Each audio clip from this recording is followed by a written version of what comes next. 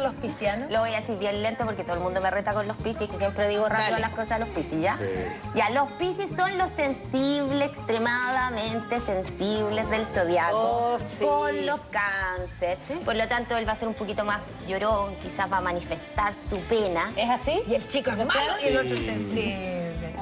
Ay, Pero tú, ahí, Y, ahí- no, y sensible a todo, en todo sentido que manifiesta también Sí. como sus cosas a través de su piel. Sí, todo. De... Si la sensibilidad No tiene que ver eso.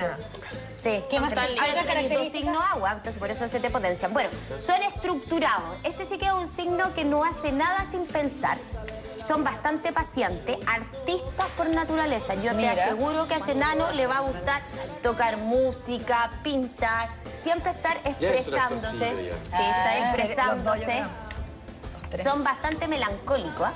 Siempre se acuerdan de algo y pues, de repente los podéis ver llorar y no les ha pasado nada, pero ellos te van a decir que se acordaron, que tal detalle. Sufridores, Sí, fue así de cuando era chico, hacía ese tipo de cosas. Como que inventaba unos dramas así para llorar. Sí, Era impresionante. memoria emotiva. Pero me dijeron que era parte de su inteligencia. Sí. Sí. Oye, y yo me estoy metiendo de a poquitito porque la verdad es que tenemos preparada una nota, porque mucho se ha dicho sobre el accidente de Tiago, por qué necesita plata para, ¿no es cierto?, para recuperarse. ¿Por qué se preguntan, por qué tiene que juntarle plata? Los